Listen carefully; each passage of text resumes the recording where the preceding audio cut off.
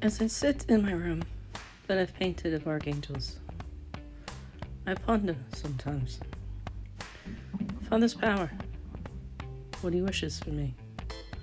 This is Mary Magdalene from the tomb talking to you about my light. You know, this journey I've been telling you about has been a long, hard road.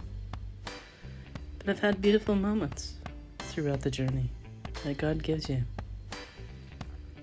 Bright white light is always leading me forward. Not only archangels, but Mother Mary, Heavenly Father, and the Lord, always turning my wheels to keep me moving. Wine moments, as He has always done from water to wine.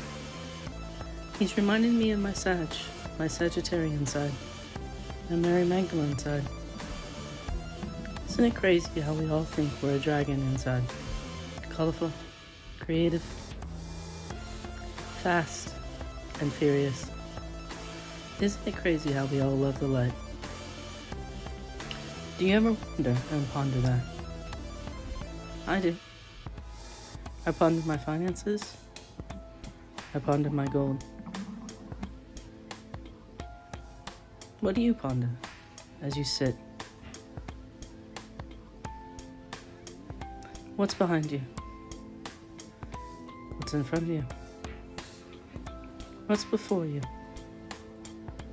For me, before me is gold. See, I painted this a long time ago. And I am Mary Magdalene returned to the earth, dressed up as Tanzia. You like my water after 2,000 years.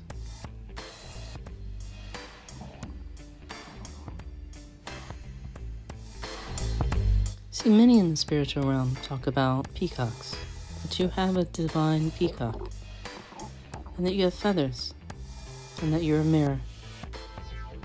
Do you understand your soul and how colorful it is?